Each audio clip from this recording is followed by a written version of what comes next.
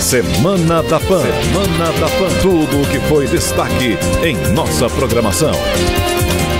Olá, sejam bem-vindos à Semana da Pan. Eu sou a Letícia Santini e apresento aqui um resumo dinâmico de tudo o que foi destaque na nossa programação. Na quarta-feira, manifestantes pró-Trump invadiram o Capitólio, sede do Congresso americano em Washington, durante a contagem oficial dos votos do colégio eleitoral, definidos nas eleições presidenciais de novembro, que deram vitória a Joe Biden. Políticos americanos estão em estado de choque com as cenas de barbárie no Congresso. O líder da maioria no Senado, Mitch McConnell, disse que a casa não se intimidará.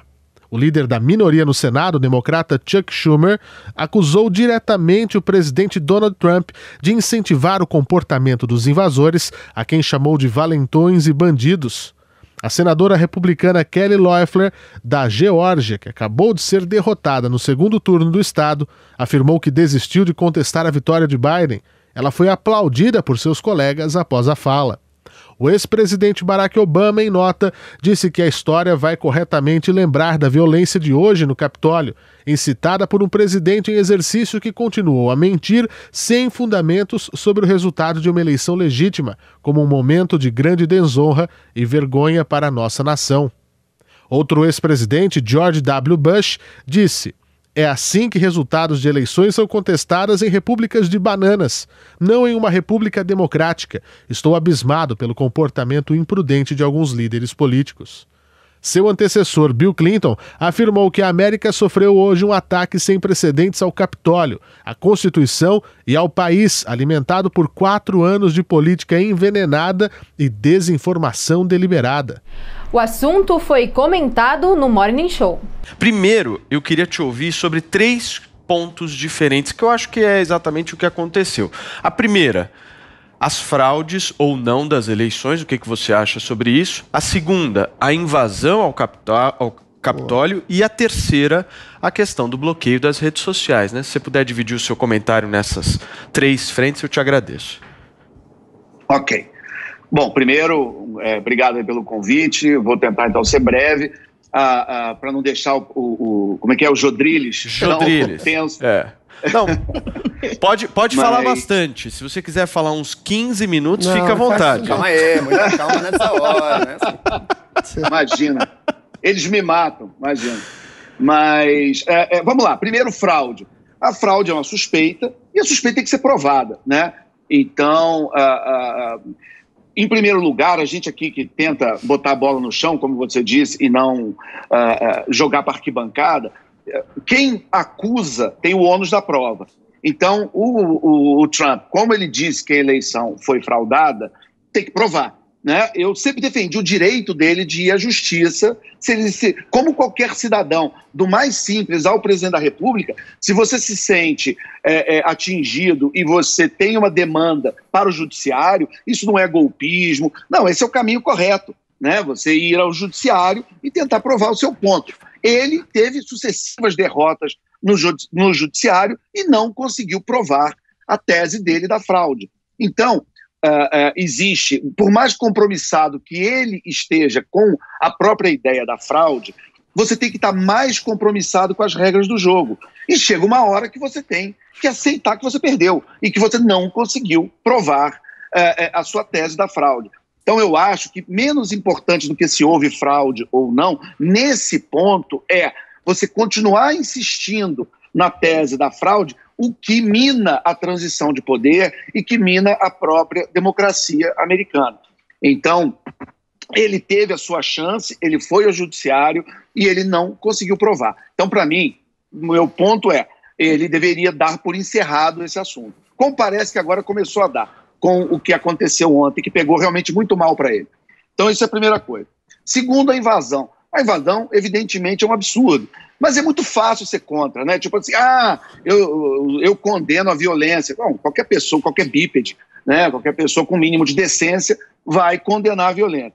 Né? Mas é, é, o problema é também cair nos extremos. Né? Um extremo é eu condeno a violência, mas. E aí começar a relativizar. Isso é um, eu acho que é um extremo que a gente deveria evitar. Né? A condenação ela tem que ser per si. Né? Eu condeno porque eu condeno, porque está errado porque não uh, não se constrói nada invadindo o Congresso americano. Né? Não, é, tá errado. E principalmente por um lado é, que se diz conservador, né? quer dizer, que deveria é, é, ter esse compromisso com os costumes, deveria ter esse compromisso com a América é, de médio e longo prazo e não entrar numa pauta revolucionária de querer virar o jogo é, é, à força. Isso não combina com quem defende vida, liberdade e busca da felicidade. Bom, qual é o outro extremo? O outro extremo é porque houve esse problema, é, porque houve essa situação ontem totalmente condenável, é, parecer que todas as críticas feitas ao Trump durante quatro anos foram legitimadas, o que eu também acho um outro extremo errado. Quer dizer, é, é, há méritos a se reconhecer no governo dele. Né? Ele, é, é desde a política externa, não ter começado nenhuma guerra, ter vencido o ISIS, ter é, é, transferido a, a embaixada em Israel para Jerusalém, que todo mundo dizia que ia começar a Terceira Guerra Mundial. Nós estamos esperando a Terceira Guerra Mundial até agora. Alexandre, foi o primeiro econômicos... melhor mandato da história presidencial americana? Olha, foi muito bom. Foi, foi muito bom. É, é, é, ele teve muitos méritos durante os três primeiros anos, é, é, na minha avaliação. Eu acho que o ano de 2020 não foi bom. A maneira como ele lidou com a pandemia é que eu acho que, no final, foi aqui responsável pela derrota eleitoral. É, mas é, é, é, os três primeiros anos há pontos positivos a se levantar, como eu estava falando, na, na, na, política externa, na economia, é, os, alguns índices históricos de baixa de, de, de, desemprego, somente entre minorias, que foram segmentos, inclusive, que ele cresceu de 2016 para 2020. Alguns, alguma, é, em votos de negros e, e, latinos e algumas localidades, ele, ele inclusive cresceu em relação a 2016. Ele diminuiu aonde? Ele diminuiu com brancos com, com curso superior. Né? Por quê? Porque a retórica dele, vista como inflamatória por esse segmento, somente os independentes, ali o pessoal mais ao centro, ele acabou perdendo um pouco desse eleitorado, perdeu Não, o suficiente perfeito. para perder a eleição. Né? É, é, e o terceiro ponto que você me perguntou... O terceiro das redes sociais, ah, para a gente fechar o seu comentário. É. Ah, das redes sociais eu acho uma hipocrisia, porque é, é, você tem, é, somente ali no Oriente Médio, no, no lado, é, é, no Irã, é, algum, alguns líderes ali do, do, Oriente Médio, você tem sim, por exemplo, uma, uma, uma chamada violência muito contra Israel, você tem o, o, os ayatolás, por exemplo, do Irã, postando e tweetando várias vezes, pedindo o fim do Estado de Israel de uma maneira muito violenta. E eu assisti a, a, a, a, agora em outubro, quando o Mark Zuckerberg, o próprio Jack Dorsey, que é o dono do, do Twitter, uh, uh, e, o, e o, o, indiano de nome impronunciável que comanda a Alphabet, que é a controladora do Google, uh, eu assisti, foram quatro horas de, de, de oitivas no, no Congresso americano, e, e, o Jack Dorsey ele deu desculpas muito esfarrapadas de por que ele deixava esses tweets é, é, sem qualquer flag, sem qualquer aviso, enquanto ele ficava derrubando os tweets do Trump. Então você vê que tem uma coisa partidária. Aqui não vai uma defesa ao Trump, vai uma defesa ao duplo padrão. Entendeu? O mesmo Perfeito. rigor que se aplica ao Trump deveria ser aplicado a todos os outros líderes mundiais. É só esse meu ponto. Perfeito. Alexandre Borges aqui no Morning Show com a gente. Adriles, vamos dividir então em três de novo: redes sociais, invasão ao Capitólio e fraudes ou não nas eleições americanas? Bom, vamos começar pelas fraudes que se mistura a questão uh, da população. As fraudes, existem vários indícios que houve. Não teve uma decisão judicial objetiva que valide a, a, questão das fraudes. Né? Nesse sentido, Trump erra em esticar a corda, sendo que não há um respaldo judicial para a sua, sua alegação. Só que a gente vê a mídia sufocando vozes, as redes sociais agora também sufocando vozes de auditores, de fiscais de, de eleições, que disseram, inclusive, sob juramento, que testemunharam fraudes. Então existe uma suspeita legítima de apoiadores do Trump, de republicanos, de pessoas que ficam exatamente cerceadas. Se elas não têm as redes sociais e se a mídia é partidária, onde elas vão dizer que houve fraude? Então restou ao presidente vocalizar essa indignação. Só que o presidente é uma autoridade, a maior autoridade dos Estados Unidos. E no momento em que ele fala que tem provas cabais de fraude e não as apresenta e não é validado pelo judiciário, aí sim ele acomete um exagero. Em relação à invasão do Capitólio, né?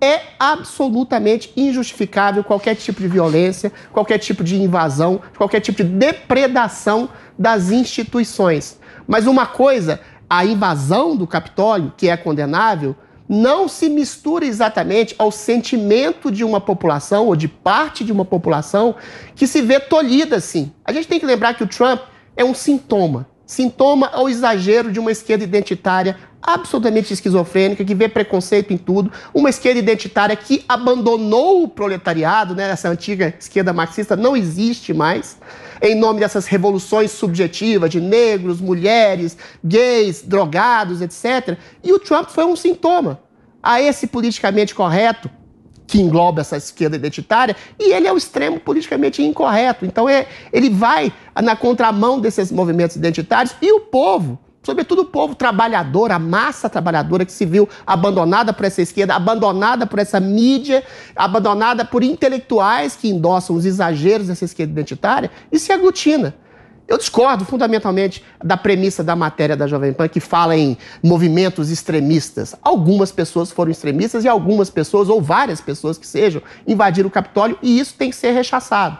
Mas não dá para colocar no bojo de extremistas todos aqueles que se veem tolhidos e suas vozes absolutamente cerceadas por uma esquerda identitária opressiva que encampa mídia, intelectualidade e boa parte da política americana. As eleições americanas tiveram um aspecto muito singular nesse ano do Covid. Alteraram-se o sistema de votos, muitos votos pelos Correios dão margem à possibilidade de fraudes e o povo quer mais informações sobre isso. E uma vez que tem mídia e redes sociais censurando essas vozes, o povo se sente indignado. Isso não é extremismo, isso é revolta. Volta a fazer essa dicotomia. Invadir Capitólio, não. Mas se revoltar e protestar aos a centenas de milhares, não pode ser debitado na conta de um simples extremismo. Quanto ao Trump ser cerceado nas redes sociais, isso é exatamente sintoma dessa.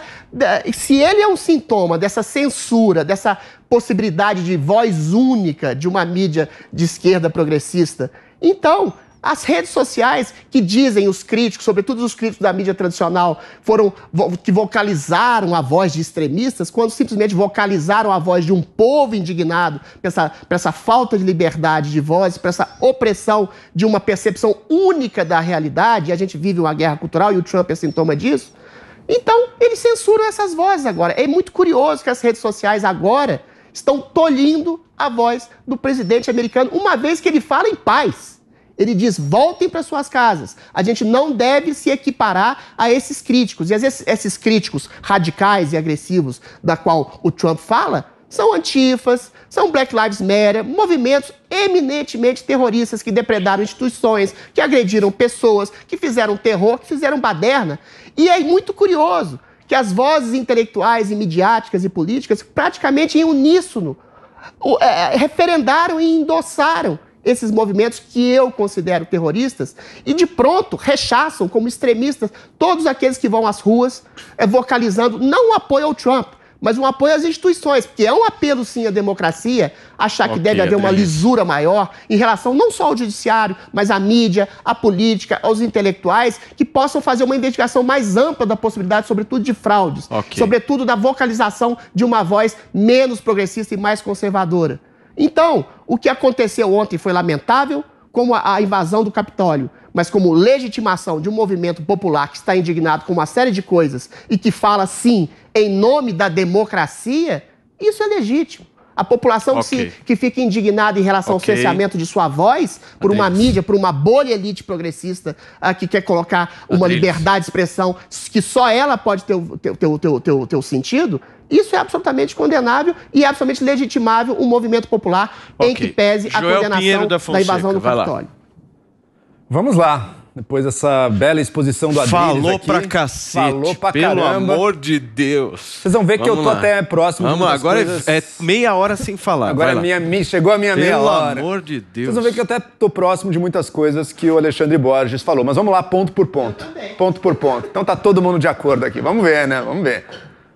Uma cena como a de ontem de um povo totalmente fanatizado, violento, invadindo o Capitólio americano, é uma cena que eu esperaria num país como Ucrânia, num país como Venezuela, e no entanto não. No entanto, a gente viu na democracia mais antiga em operação, em funcionamento do mundo. Um país que se gaba como sendo inclusive o bastião da democracia, aquele que tenta ou tentava levar a forma de governo democrática para outros países. E é nele que a gente vê um assalto, um ataque perigoso contra as instituições da democracia. Vamos deixar as coisas em proporção primeiro. Essa invasão de, de arruaceiros ali da, do Capitólio, ela não vai ter o poder de realmente solapar as instituições democráticas, felizmente. A própria certificação da vitória do Biden ocorreu da mesma maneira, atrasou um pouco, mas ocorreu. O Donald Trump deixará o cargo dele. A questão agora, será que ele vai deixar só no, no dia 20 ou será que vão adiantar um pouco porque ele não tem mais condição nenhuma de estar ali? Isso ainda vai ser decidido nos próximos dias. Mas o fato é que esses arruaceiros, baderneiros, não conseguiram e não, não teriam a menor possibilidade de solapar, de subverter, de derrubar a democracia americana. Mas que haja tantas pessoas querendo fazê-lo, que haja tantas pessoas com ódio do resultado das urnas a tal ponto que estejam dispostas a violar todas as regras e todas as leis do Estado Democrático de Direito, é bastante grave e não é algo inesperado. É um produto, é um resultado direto de anos de desinformação, de fake news, de polarização e de cultivo do extremismo feito principalmente via internet, via redes sociais. O que eram os fóruns de discussão, os chans, que deram origem ao movimento original do Trumpismo, uma verdadeira cracolândia, um pântano de desinformação, de teorias da conspiração, de discurso de ódio, às vezes até de supremacismo branco. Vamos lembrar, hein? O Adriles falou que as pessoas estão revoltadas contra os excessos dos Black Lives Matter, de antifas. De fato, esses excessos são totalmente condenáveis. Mas vamos olhar, olhem, façam esse esforço, olhem qual é o discurso que de fato está nas massas que atacam e que apoiam uma invasão como essa, nas massas que defendem o Trump acima de tudo, inclusive da democracia. Não é um discurso contra os excessos, não é um homem comum querendo voltar para a normalidade. São discurso, discursos conspiratórios paranoicos do nível do QAnon, que acredita em grandes redes de pedofilia satanistas e tem uma altíssima penetração entre os defensores do Trump. E há também, não é um todos, mas há também defesa, inclusive, de supremacismo branco. A gente viu ontem, Adriles, a gente viu ontem cenas, está fotografado, não, a bandeira quer... confederada dentro do Capitólio americano. O que, que significa a confederação? O que, que significa essa bandeira? Essa bandeira significa e foi a bandeira de uma tentativa de separatismo escravocrata nos Estados Unidos, levada por esses manifestantes ao centro, ao símbolo da União Nacional, que é o Capitólio que reúne ali todos os estados na União Americana.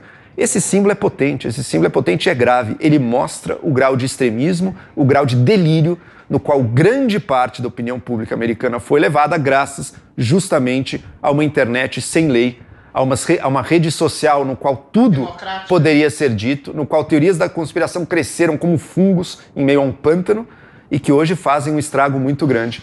Infelizmente, algumas pessoas têm uma visão ingênua do ser humano. Né? Ah, o ser humano busca a verdade sempre, portanto, nas redes sociais a gente vai sempre se aproximar mais próximo da, da verdade, porque tem a competição, as ideias se debatem. Muitas vezes não é assim. O ser humano busca também confirmar aquilo que ele já quer o ser humano, a psicologia humana busca se agregar com quem pensa parecido e se afastar de quem pensa diferente. Isso vai criando bolsões de extremismo. Existe o extremismo de esquerda também, você está completamente certo nisso. Mas esse é extremismo de esquerda, é não. Nação, esse extremismo de esquerda. De governos, Adriles, calma, minha vez. Lá. Você falou só meia hora. Esse extremismo de esquerda jamais invadiu o Capitólio americano. Esse extremismo de esquerda jamais tentou solapar o resultado de uma eleição. Quando o Trump ganhou, tinha muita gente, gente às vezes histérica, quando o Trump venceu, gente às vezes histérica, berrando por aí. Em nenhum momento tentaram desromper e acabar com o funcionamento do Congresso americano. A extrema-direita tentou. Não é à toa que o Departamento de Segurança Interna, inclusive, diz que hoje em dia a principal ameaça terrorista nos Estados Unidos vem, sabe de onde? Isso é o próprio, isso é o próprio Departamento de Segurança Interna americano. Ah da extrema-direita. É? Grupos de extrema-direita. Então, Adriles. Qual ação o, específica? O extrema... Me cita. Mas tem vários. Tem massacres em igrejas, tem ah, atiradores. igrejas? Tem uma série. Extrema-direita matando pessoas em igrejas Tem uma série de ataques Pelo terroristas de Deus, e planos terroristas de extrema-direita ah, nos Estados Unidos. Você sabe Sim, que foram desrompidos, por exemplo, pelo FBI, ah, que são devidamente registrados. Qual ação? Infelizmente, voltando, só para terminar. Quanto ao discurso Encerra, do Trump, vamos encerrar. Quanto ao discurso do Trump, as fraudes nas eleições. Ele repete mentiras de WhatsApp e de redes sociais. Não tem uma evidência séria. Adriles, levaram aos tribunais. É Só que quando tá chegava, nos, quando chegava nos tribunais, muitos deles não queriam falar tudo aquilo é que falam na mídia. Adriles, por favor, posso, terminar, Adriles? Vamos terminar? lá. Eu vou passar a palavra para você depois que o Joel terminar. Encerra, Joel, por Voltando, favor. Bem- todo o discurso de fraude, tanto nos Estados Unidos quanto no seu capacho e imitador Bolsonaro aqui no Brasil, é mentiroso e intencionalmente mentiroso. Porque eles não querem aceitar a derrota possível nas urnas. Bolsonaro possível, que ele venceu e hoje em dia é favorito para 2022, mas mesmo assim já se prepara. E o Trump é a mesma coisa. É um discurso, um pretexto mentiroso, falso e cínico para negar a derrota legítima que ele sofreu nas urnas. Todas as acusações de fraude são mentirosas, são fake news de redes sociais. Tanto é assim que o Ok, FBI não Joel. viu nada, os tribunais não viram nada, a Suprema Corte não viu nada, o, o, o, o Ok, Procurador-Geral da República Americano não viu nada. Ninguém, até os líderes republicanos, Joel. até os senadores e deputados republicanos que até ontem lambiam as botas do Trump, hoje ontem ah, disseram, olha, infelizmente não tem como. A Ok. democracia precisa funcionar. É um discurso extremista Ok. de redes sociais. Que bom que o Twitter fez alguma coisa. Ok. Adriles. Não, eu vou fazer uma pergunta retórica que eu não quero que ele responda, Vou que eu vou responder. responder. Eu responderei. Que eu vou, que eu vou responder. Ele coloca de ações extremistas, de intenções extremistas, de minorias do Quill, de, de, de- de redes satanistas, de bandeiras de confederados. Qualquer, qualquer ideologia, oposição política num cenário de disputa tem extremistas. Yes. A questão que se coloca é: você faz a mesma acusação que uma mídia e que uma inteligência fazia ao Trump em 2016. Ele vai perseguir mulheres, ele vai perseguir negros, ele vai perseguir latinos, gays, ou seja, essa histeria de uma esquerda coletivista identitária é o mesmo discurso que você faz, Joel. Qual ação extremista de perseguição a minorias ou ações, incentivos a ações extremistas de movimentos supremacistas brancos ou satanis- satanistas tiveram efeito no governo Trump? Nenhuma.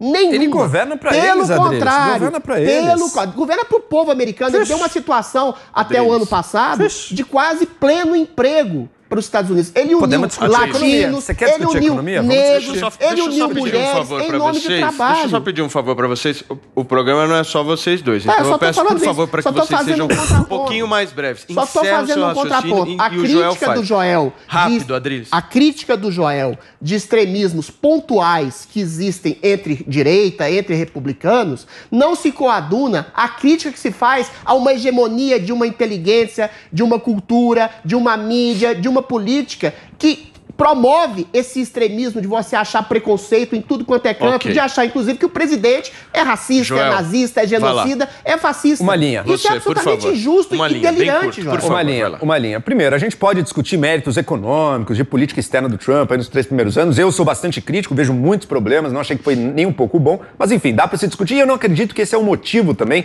que levou, inclusive, o homem médio americano a aumentar sua rejeição contra o presidente.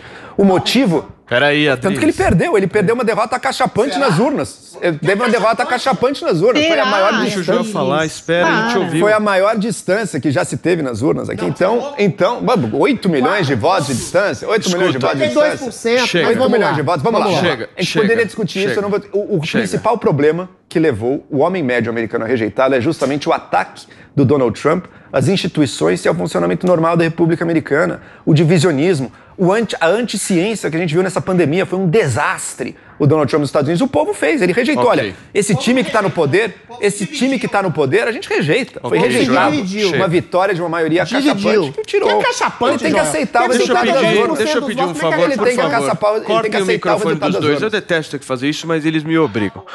Alexandre Borges, você vê o que, que eu passo aqui todos os dias, né, meu amigo? Não é fácil isso daqui, viu? Eu deveria ganhar por insalubridade mental. Mas tudo bem, faz parte. Deixa eu te pedir um favor, Alexandre. Eu queria que você encerrasse fazendo uma análise pra gente se você acha que no Brasil em 2022 pode acontecer a mesma coisa. Vamos lá. É, antes, eu só queria fazer um parênteses em relação à política americana. É, é, essa questão dos paralelos, eu queria lembrar é, o óbvio, mas eu quase nunca vejo as pessoas lembrando disso, que a política americana está dividida entre dois partidos, enquanto o Brasil é um país com 25 partidos.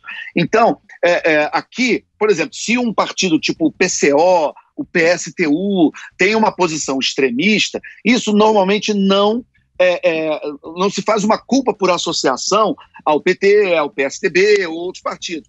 Nos Estados Unidos, o PSTU do Partido Democrata ou o PSTU do Partido Republicano, ele, o PCO, eles acabam, de certa forma, para quem olha de longe, visto como se fosse tudo uma coisa só. E vamos entender que esses dois grandes partidos são, na verdade, duas grandes facções que reúnem várias, dezenas de pequenos grupos que, se fosse um sistema partidário como é no brasileiro, muito provavelmente você teria mais de 20 partidos. Então, esse é um primeiro ponto. Para tomar cuidado, quando você pega, por exemplo, uma, uma, uma dos dois lados, e você pega ah, uma, uma minoria radical, você extrapola para todo mundo. E eu falo isso não só do lado republicano, como no próprio lado democrata, porque a, a própria escolha do Joe Biden, que é evidentemente muito mais moderado do que a ala socialista Bernie Sanders, a escolha dele foi por causa disso né? porque o próprio Partido Democrata viu, na minha visão, o que aconteceu na Inglaterra meses antes, lá com Boris Johnson, que teve a maior vitória em 80 anos dos conservadores, e eles entenderam que uma, um radicalismo tipo Jeremy Corbyn é, é, é, impopular, e não ia, pelo menos nesse momento histórico. Nós estávamos conversando e eu te fiz uma pergunta se você achava que em 2022 a possibilidade dessa animação toda acontecer também no Brasil. Você acredita nisso? Olha, eu acho que tem. Uh, uh, é o copo meio cheio, meio vazio, né? O que, que seria uma boa notícia para as chances de reeleição do Bolsonaro? Para ele, é que ele hoje não tem uma oposição colocada. Né? Ele é, é, meio que está concorrendo sozinho. Em 2018, ele concorria com o Lula até o Lula ser preso. Depois que o Lula foi preso, e até hoje, ele não teve mais oposição. Não teve. Tem nomes que são cogitados em pesquisas, mas você não tem ninguém fazendo campanha sistemática todo dia, fazendo comício, se colocando para a população como candidato, como ele mesmo fez durante quatro anos, de 2014 a 2018 uma candidatura se constrói com muito tempo, com, com campanha todo dia, todo dia. E isso hoje não tem. Você pode falar de quê? De Sérgio Moro, de, de Luciano Huck, de, sei lá. É, é, esse pessoal aparece de vez em quando, faz um tweet, planta uma notinha na imprensa, aparece num, num questionário de pesquisa.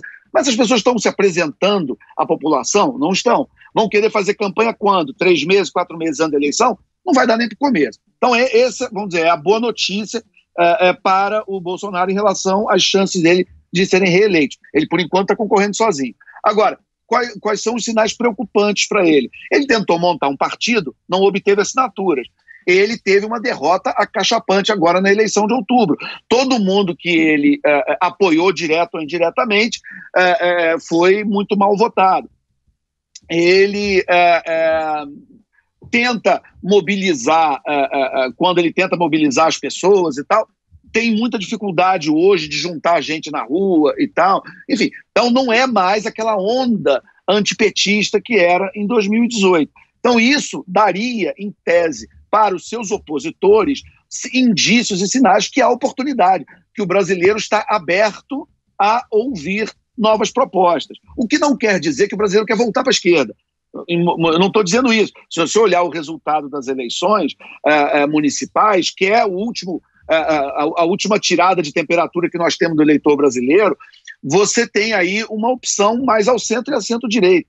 Você tem o DEM aqui no Rio de Janeiro vencendo, você tem o Bruno Covas em São Paulo, você tem o, o Calil em Belo Horizonte, o Greca do DEM em Curitiba, o Bruno Lins do DEM em Salvador, por aí vai. Quer dizer, você tem aí, no geral, nas principais capitais brasileiras, uma busca ali em candidatos entre o centro, centro-direita, gente menos ideológica, gente mais ligada a, a, a, uma pauta mais de trabalho, de realização, do que propriamente construção de narrativas e ideologia. Perfeito. Então, isso poderia ser visto como uma oportunidade. Mas até agora ninguém está aproveitando. Alexandre, deixa eu te agradecer, cara. Obrigado, viu, pela participação aqui no Morning Show. Volto sempre. Desculpa aí a correria. E queria te pedir o seguinte: divulga tuas redes para nós, canal no YouTube, Twitter, Instagram, Face, manda aí.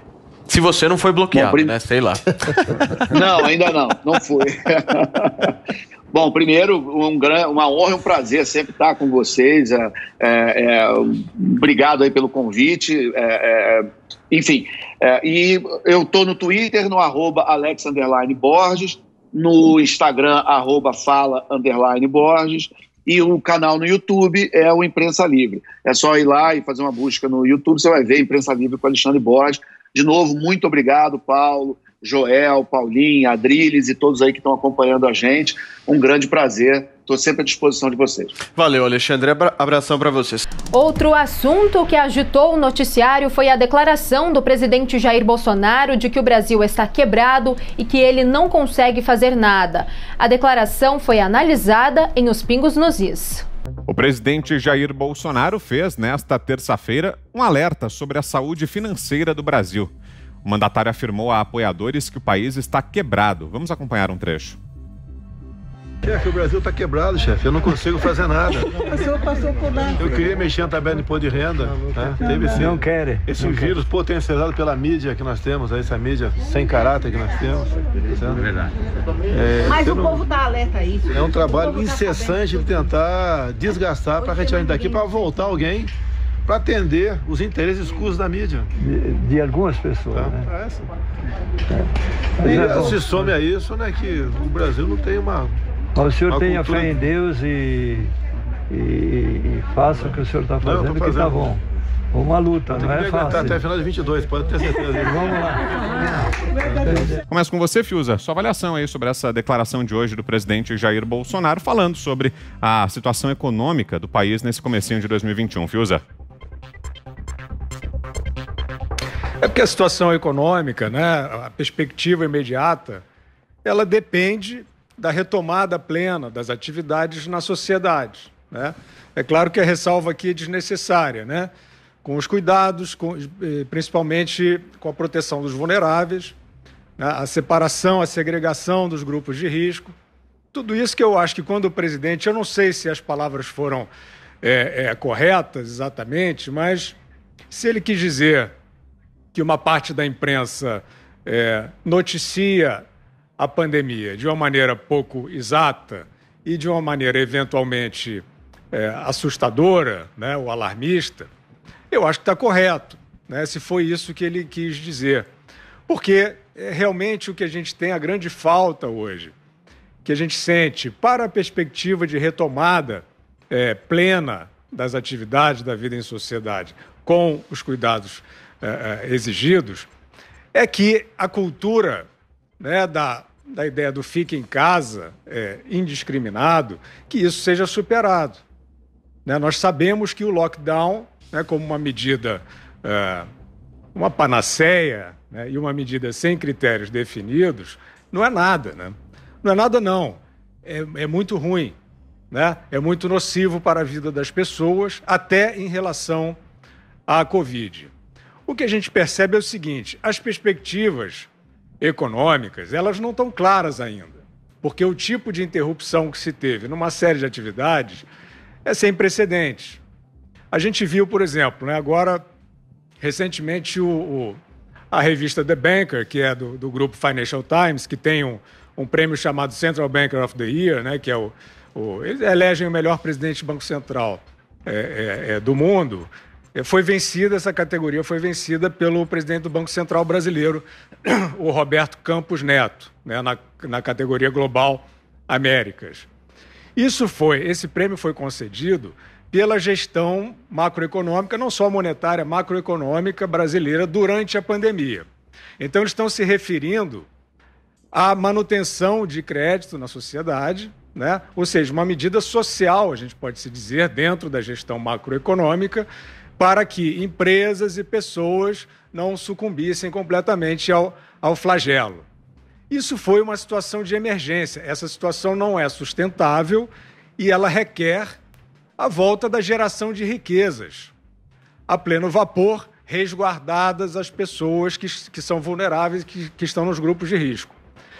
Esse tipo de perspectiva é difícil realmente a gente ver aí no, no senso comum e na parte que cabe à grande imprensa, boa parte da grande imprensa, que é tratar é, como algo é, viável é, a circulação. Quer dizer, sempre que você tem uma, é, né, uma, uma, ameaça de retomada, de, de, de agravamento da pandemia, do contágio, que nem essa mensuração é exata, né? muitas vezes, inclusive, são alarmes falsos, mas pode haver você tem a, a, o recrudescimento, a volta, a volta à ideia de lockdown. Como a gente viu, por exemplo, em algumas partes do país aí na virada do ano, São Paulo, por exemplo. Esse, esse tipo de perspectiva me parece, que, que é enganosa, me parece ser aí a origem do comentário do presidente.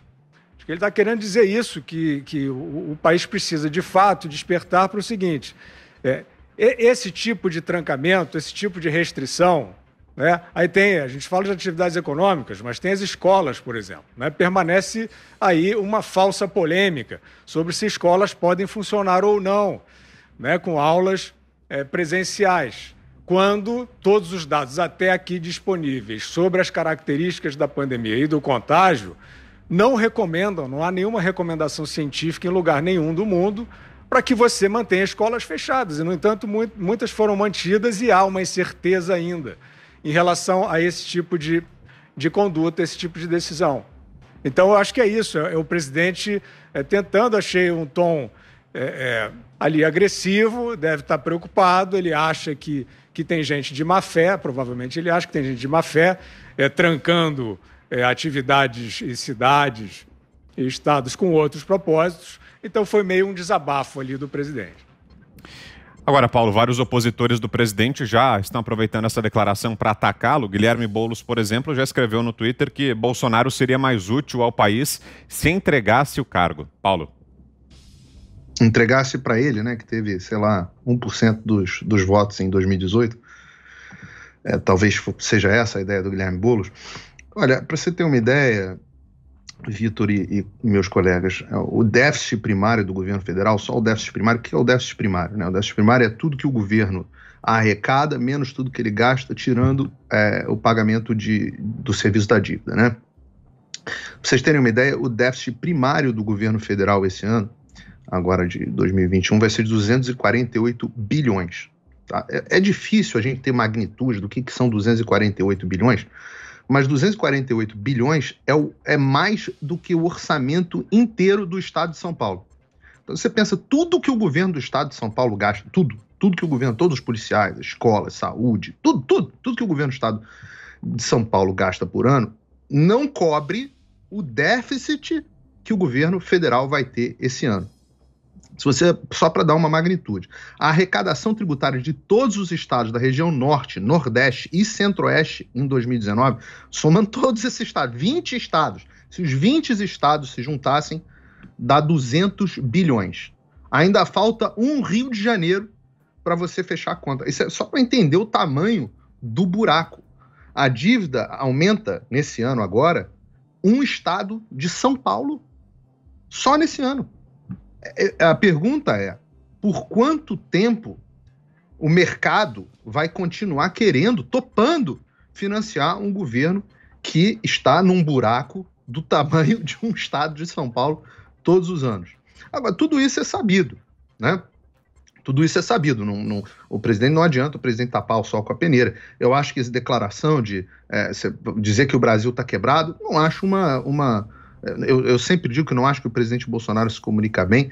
Então, você faz uma declaração dessa, é, não é a declaração mais estratégica que você possa ter, considerando que você é o capitão do navio, né? Você imagina que uma empresa que está procurando se financiar, o diretor da empresa não vai virar, o presidente da empresa não vai virar e dizer que a empresa dele está quebrada. Mas o, o tamanho da a, a realidade, não dá para dizer que o presidente Bolsonaro não tenha descrito a realidade de forma perfeita. Né? Ele não quis dourar a pílula, mas ele descreveu a realidade de forma é, perfeita. E, e, não é só o governo federal que está quebrado. Tá? Quando, acho que quando ele fala o Brasil, aí está é, falando de uma coisa maior. Né? É, os estados e municípios da federação estão todos, todos quebrados, né? A gente está vendo aí, eu que sou do Rio, estou vendo o, Edu, o Eduardo Paes lá se virando nos 30, fazendo que vai falando que vai fazer reforma da Previdência, que vai fazer isso, que vai fazer aquilo. A gente discutiu hoje no, no Jornal da Manhã, acho que deve voltar aqui no assunto, é, sobre, sobre o que o João Dória, né? O governador João Dória está fazendo em São Paulo, querendo aumentar os impostos, jogando nas costas da população é, essa, essa porque o governo do estado de São Paulo, embora o governador João Dória não diga, também está caminhando para ficar quebrado. É, agora, isso, isso aí, meu amigo, é da turma que ficava dizendo que tinha que ficar em casa e que a economia a gente vinha depois. A responsabilidade é desse pessoal. E aí, quando o presidente diz que é, a mídia quer potencializar o vírus, me desculpa, mas não é nenhuma questão de opinião. É, no início da pandemia, você tinha várias personalidades, vou dar o exemplo aqui do Átila Yamarino, falando de um milhão, dois milhões de mortes, é, e enquanto isso era chamado para todos os programas de entrevista, estava na mídia o tempo inteiro, virou o maior nome do Brasil para falar de Covid. É, era um cara que tinha um canal de, no YouTube e virou o maior nome do Brasil porque fazia apostas catastróficas. Agora mesmo tá aquele Miguel Nicoleles, né, é, também cientista, dizendo que ou a gente entra num lockdown nacional imediatamente, ou a gente não dá conta de enterrar os nossos mortos em 2021. E a mídia, em geral, adora essas alegações. Daqui a pouco ele vai ser chamado por Roda Viva, sei lá. E aí, e ai de quem chiar. Porque quem chia é chamado de maluco anticientífico. É, é, essa é a realidade. Então não dá nem para discordar. Um exemplo, do, é, o exemplo que o Fiuza estava dando aí, muito, muito feliz, é esse exemplo das escolas. Né? Hoje, Brown, você e eu entrevistamos aí o secretário de Educação de São Paulo, que estava dizendo que não tem um caso de transmissão é, nas escolas de São Paulo, que tem que reabrir as escolas, que vai reabrir as escolas, se por ele, é, por ele reabrir as escolas desde o início. É, eu, no mesmo Jornal da Manhã, eu entrevistei, é, acho que o chefe da Força Tarefa de São Paulo, já não me lembro mais, o, o João Dória tem uma espécie de Força Tarefa de São Paulo para tratar do vírus, onde eu perguntei a ele, falei, olha, morre menos gente aqui nos Estados Unidos na fase escolar de gripe do que de coronavírus. E, e aí em São Paulo? E aí ele fez um escarcel dizendo que estava morrendo um monte de gente, que o número de internações de crianças estava subindo. Então, e a mídia se apodera dessas narrativas e aumenta muito. Então as pessoas hoje não sabem que colocar os seus filhos na escola é menos perigoso com o Covid do que é com a gripe comum. E por que, que elas não sabem disso? Porque a mídia não faz o seu papel de informação. Então está coberto de razão o presidente nesse, nesse ponto. Você, Ana. Olha, Vitor, eu achei o presidente uh, um pouco abatido. Uh, eu acho que é, uh, pode ser impressão, né? A gente vê também aí fotos de presidentes assim que entram no cargo, dois anos depois já parecem assim bem mais velhos, né, cheios de cabelos uh, brancos, e eu achei o presidente um pouco abatido. Acho que eu entendo também, né, se for essa realmente a questão. Uh, o presidente Bolsonaro ele está numa posição muito complicada, onde ele não tem aí o controle da mídia militante, né, que, que hoje infelizmente é, faz a grande parte aí do tecido jornalístico. E não adianta o que o presidente falar, o que o presidente fazer, ou seus ministros, uh, ou uh, qualquer vertente ali da, do seu governo que vai ser criticado. É uma posição que o, o Paulo sabe muito bem. Nós vivemos essa posição aqui nos Estados Unidos durante os quatro anos da administração de Donald Trump. Eram apenas críticas, críticas Uh, é, muitas narrativas sendo empurradas uh, de maneira uh, distorcida. E nesse caso do presidente Bolsonaro, ele obviamente ele foi honesto. O, o país ele está quebrado o país está quebrado e não apenas por causa da pandemia, mas o, o, essa administração recebeu um legado de um país totalmente na lama, um legado aí de 13, 14 anos de administração petista, onde foi entregue um país uh, estraçalhado, né? o tecido uh, uh, social, econômico, cultural, então é muita coisa para consertar em apenas uma administração, né, que, que é, é, exatamente essa do presidente Bolsonaro, mas também em qualquer administração do presidente Bolsonaro ou de qualquer outro uh, presidente dentro de uma pandemia histórica como essa. A gente vem falando desde o ano passado, maio, junho do ano passado, ali no meio da pandemia, e fomos taxados né, de, de, de, de vários adjetivos aí nada publicáveis quando nós uh, uh, tentávamos trazer a importância do debate da vida econômica, da sobrevivência econômica das famílias, que uh, não seria possível trancar todo mundo em casa durante sete, oito meses. Sempre, sempre colocamos o perigo de separar, de segregar os grupos de risco, as pessoas com comorbidades, os idosos, mas um lockdown uh, burro, ignorante, como tem sido feito, e às vezes nem é por ignorância, não, Vitor, é por puro projeto de poder político mesmo. Uh, eu estava vendo um, um, dado hoje, o Paulo pode até falar sobre isso, porque é um dado da Flórida, que sem lockdown na Flórida, que aí é o, um dos estados nos Estados Unidos com talvez o estado com a maior população idosa uh, americana, ah, até hoje há o mesmo número de hospitalizações que a temporada de gripe de 2018. E é um estado que não colocou o lockdown de tranca todo mundo em casa. É um estado que está segregando uh, os grupos de risco, está trazendo uh, muita informação às pessoas, as pessoas estão vivendo com responsabilidade. É, então, a gente precisa continuar forçando esse debate sobre a economia, sobre o lockdown burro, ignorante e providencial para muitos políticos, porque com Bolsonaro, sem Bolsonaro e as pessoas que querem puxar o tapete dessa administração, parece que nós estamos num Titanic que essas pessoas elas têm um colete salva-vidas, né? Que se afundar elas não vão afundar. E na realidade não é essa, vai afundar todo mundo. Então, nós precisamos continuar empurrando o debate aí sério, intelectualmente honesto, sobre a abertura da economia, porque com Bolsonaro, sem Bolsonaro, o país não vai sobreviver. Fala, Paulo. Não, esse ponto que a Ana trouxe sobre o lockdown aqui na Flórida, ele é maravilhoso pelo seguinte: é, aqui nos Estados Unidos você pode comparar, né? Você tem dados confiáveis e dá para você comparar as medidas que cada um dos estados tomaram. E você tem estados como onde a Ana mora, a gente aqui é, no programa é um exemplo bastante simbólico. A Ana mora no, na Califórnia, que é um grande estado é, governado pelos democratas, e eu moro na Flórida, que é um estado governado pelos republicanos. O estado da Ana na Flórida adotou lockdowns rigorosíssimos, né? É, desde março, por exemplo, a Disneyland aí é, fechada, sem prazo para reabrir, ficou um tempão salão de beleza fechado, as crianças sem escola, etc, etc. Aqui na Flórida, por outro lado, é um estado que tem uma população idosa bem maior, é, mas ainda assim o governador falou: não, esse negócio de lockdown não, não, não funciona, não é a melhor alternativa, vamos adotar medidas mais inteligentes. E você tem aqui restaurantes operando, bares operando, é, algumas, alguns nightclubs, né, boates operando.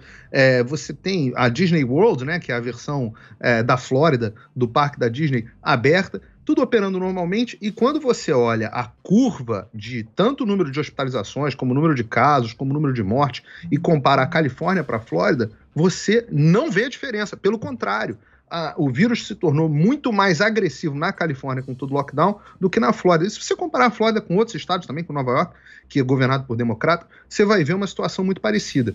E, e no final das contas, você pergunta isso para as pessoas, ninguém sabe explicar.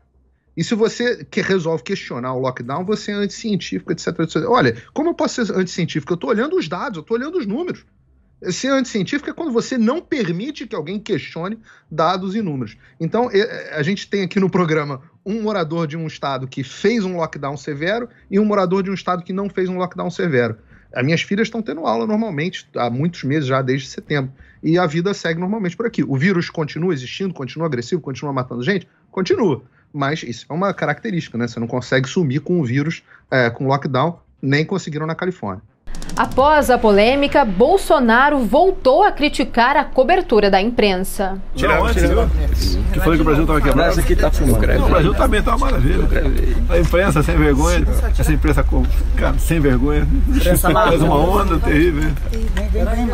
Para a imprensa montava Lula, Dilma. O presidente reclamou do fato das declarações dele terem sido tiradas do contexto e justificou que diz que o país estava quebrado quando foi questionado sobre a possibilidade de manutenção do auxílio emergencial. Na quinta-feira, o governo de São Paulo fez um anúncio importante sobre a Coronavac. O governo anunciou que a vacina, desenvolvida em parceria com a chinesa Sinovac, tem eficácia de 78% em casos leves, chegando a 100% em casos mais graves.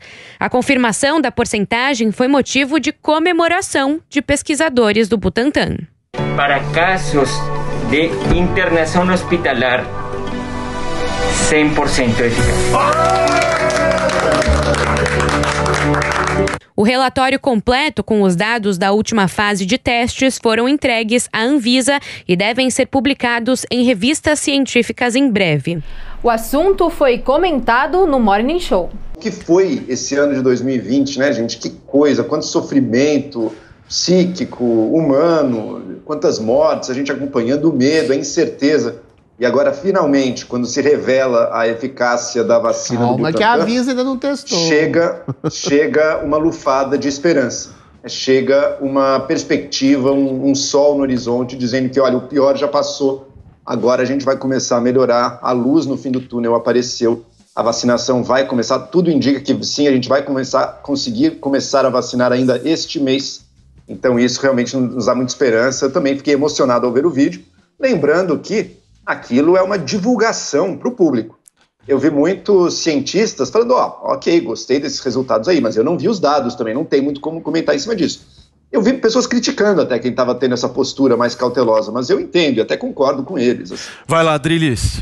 Vamos lá. Em relação à Coronavac, é mais do mesmo. A Coronavac, entendo a sua segurança, eficácia, uh, justificadas e aprovadas pela Anvisa, será uma das vacinas, das várias vacinas do cardápio brasileiro. E isso é maravilhoso, que a gente tenha um leque de opções para escolher, não sendo impositivo, não sendo obrigatório, não sendo compulsório, fazendo um bom organograma de vacinação. O ministro diz que tem 60 milhões uh, de seringas, agulhas, ampolas, etc.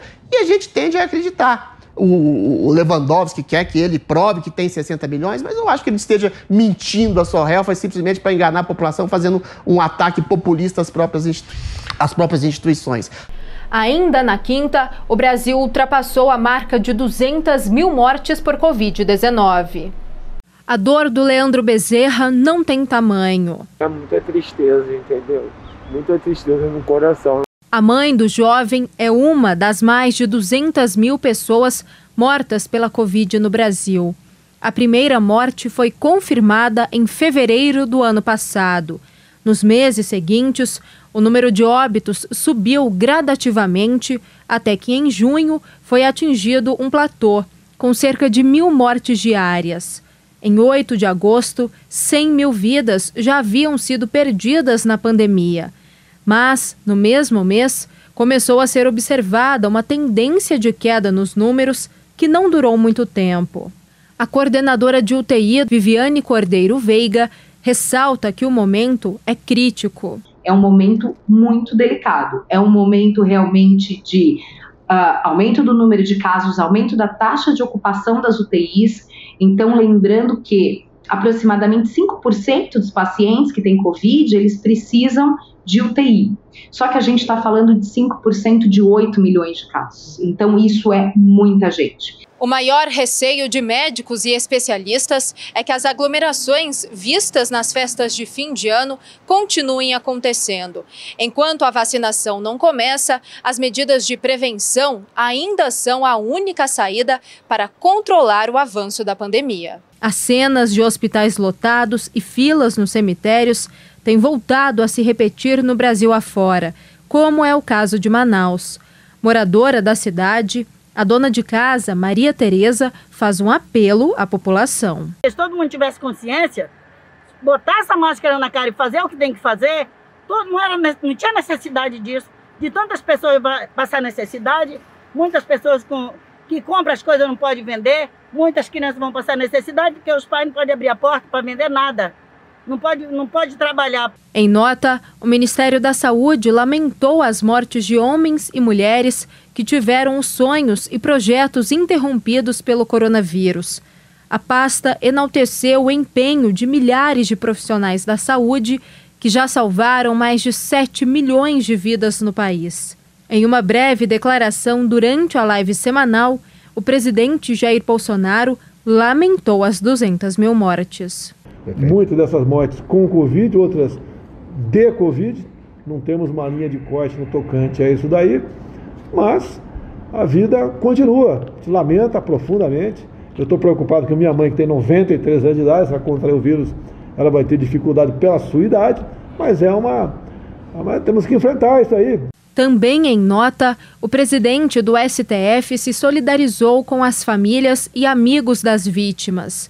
Segundo o ministro Luiz Fux, o Supremo Tribunal Federal e o Conselho Nacional de Justiça continuarão, como vem fazendo desde o início da pandemia, atuando para ajudar a sociedade brasileira a mitigar danos e impactos desta tragédia humanitária.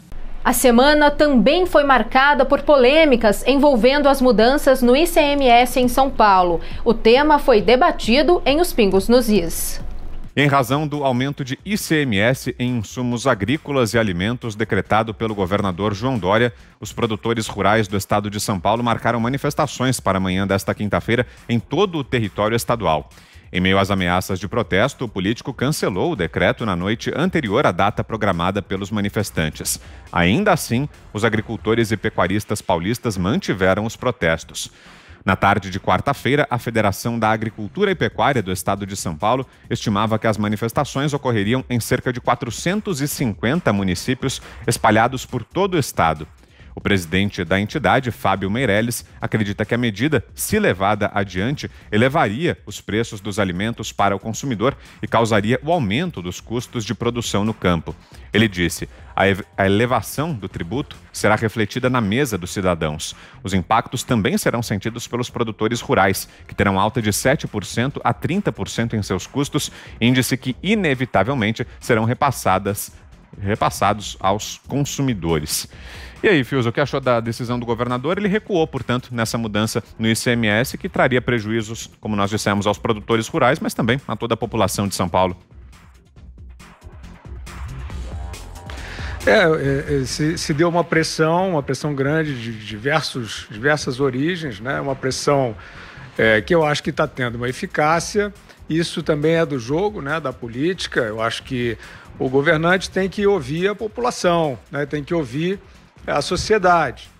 Uh, o que a gente pode notar é que tem uma série de diretrizes, uma série de decisões que vêm sendo adotadas, não só pela, pelo governador de São Paulo, né, como vários governadores, prefeitos né, é, e, e, outras entidades, que estão é, sem coerência. Né? Quer dizer, o que a gente percebe é o seguinte: o agro, por exemplo, que é um setor que praticamente carregou o país nas costas durante a pandemia, que não parou né, de repente ele é aviltado com essa ameaça. Essa ameaça provém de uma necessidade fiscal. Mas o que nós estamos vendo é que é, é, veio um socorro emergencial da União, do governo federal, que equipou os estados e municípios né, com a possibilidade não só de enfrentar a pandemia, como de enfrentar a queda de receita de impostos. Né? E o que a gente viu como resposta dos entes federativos foi algo que é inteiramente é, sem critério, que é algo que é inteiramente temeroso, que é o, os lockdowns, que foram os lockdowns, que foram os cerceamentos, as restrições abusivas de atividades, alegadamente como medida de segurança sanitária, não, não, não comprovadas, não comprovadas. Fica todo mundo em casa, tranca tudo, ninguém sai, não conteve contágio nenhum. Não tem nenhum trabalho no mundo inteiro indicando que essa medida estúpida e, e, e cega e mística salvou alguém. No entanto, eu estou enfatizando esse ponto porque ainda hoje, né, outros governadores, prefeitos, etc., estão. A, a pandemia está aí, não foi embora. Né, e o vírus vai ficar por aí um bom tempo. O que tem que ser detido agora é esse tipo de medida irracional. Então, que o protesto, que o, que o tratoraço, né, que, que o protesto do, do setor produtivo tão importante brasileiro em relação à medida tributária é, é realmente abominável, é, é, inspire a sociedade, inspire o setor produtivo. Não estou falando de grupos de manifestação, é, segmentos políticos, não. Estou falando da sociedade, dos setores, dos agentes econômicos, por exemplo, né? da área da medicina, da área da saúde, que eles comecem a mostrar a sua voz de maneira bastante eloquente em relação a decisões estapafúrdias estapafúrdias que nós estamos vendo de governadores, de prefeitos, do judiciário, quando o prefeito tenta apresentar um plano, por exemplo, a gente viu no interior de São Paulo, o governo apresenta um plano, o governo municipal, um plano é, racional de circulação, com cuidados, etc. Vem lá o judiciário e caça e dá a decisão para quem quer trancar mais, no caso do governo de São Paulo. Então, que isso sirva, que esse movimento contra o aumento do CMS sirva para a sociedade entender que ela precisa vociferar pacificamente, ela precisa vociferar contra as medidas disparatadas de autoridades estaduais e municipais e do judiciário. Paulo, também queremos ouvi-lo. Você bem rapidinho. O Dória tá perdidinho, coitado. O governador João Dória tá perdidinho. Ele é, primeiro manda fechar diversos setores da economia é, e impõe várias restrições é, no seu estado. Essas medidas que, como o Fiuza bem disse, até agora ninguém conseguiu verificar a efetividade. Aí, quando fica depois de tudo fechado, ele percebe que a arrecadação do Estado vai cair. Né? Como se quem poderia imaginar uma coisa dessa, né? A arrecadação do Estado cai, porque o Estado toma dinheiro das pessoas, se as pessoas estão produzindo menos, tem menos dinheiro a ser tomado.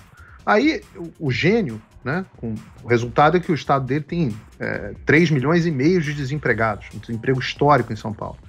Aí o gênio, uma inflação, país passando por uma inflação de preço e tudo mais, aí o gênio fala assim: ah, já sei como é que eu vou resolver esse problema do, do, do caos fiscal em São Paulo. Eu vou aumentar impostos. E resolve aumentar impostos, que já é uma sandice, porque o que o brasileiro já paga de imposto é um absurdo. O gênio resolve aumentar impostos que vão encarecer remédio e alimento. Você acompanhou aqui a Semana da PAN, o resumo de tudo que foi destaque em nossa programação. Para mais informações, acesse jp.com.br. Um grande abraço e até a semana que vem. Semana da PAN. Semana da PAN. Tudo o que foi destaque em nossa programação.